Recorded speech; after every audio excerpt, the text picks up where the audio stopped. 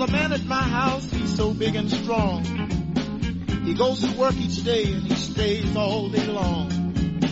He comes home each night looking tired and beat. He sits down at the dinner table and has a bite to eat. Never a frown, always a smile. When he says to me, how's my child? I said that I've been studying hard all day in school. Trying very hard to understand the golden rule. I think I'll color this man father. Color him father. I think I'll color him love. Color him love. Said I'm gonna color him father. Color him father. I think I'll color the man love. Yes, I will. Color him love. He says education is the thing if you want to compete.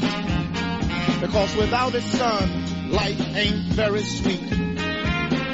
I love this man and I don't know why. Except I'll need his strength until the day that I die. My mother loves him and I can tell by the way she looks at him when he holds my little sister Nell. I heard her say just the other day that if it hadn't been for him, she couldn't have found her way. I think I'll color him father. Color him father. I'm gonna color him love. Love. I've got to color him father. Color him father. I think I'll color this man love. Color love.